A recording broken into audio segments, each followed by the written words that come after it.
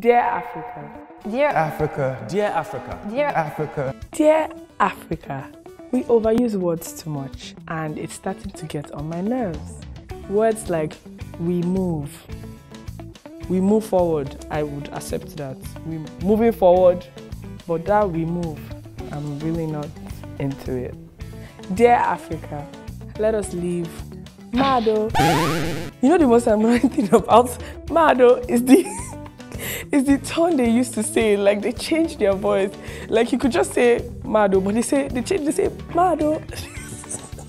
I mean, it was really nice when it started. Like oh, like something is blowing your mind. But now every small thing, Mado. It's a new year. Let's gather new slangs and move forward. Not we move. You get? Did you get that?